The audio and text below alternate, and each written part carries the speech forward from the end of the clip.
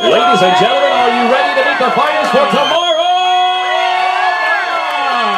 Defeated as a professional at 1-0 with his lone victory coming by way of knockout in 2016 in Rio. He brought home the Olympic bronze medal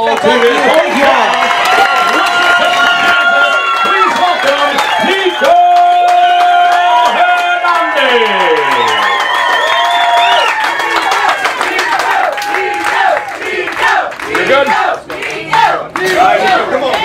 Now here's the big question, ladies and gentlemen. This young man brought Olympic pride to Wichita. Do you believe that his undefeated streak will continue tomorrow night live on CBS? know too much about. I know he's two and zero with two first round knockouts, but that's pretty much all I know. Like a come forward fighter, so he puts a lot of pressure. So yeah. Uh, feeling good, good, confident. You know, we got a pretty good game plan, so we'll see how it works out. So you know, just got to keep our hands up, keep our hands tight, and go to work.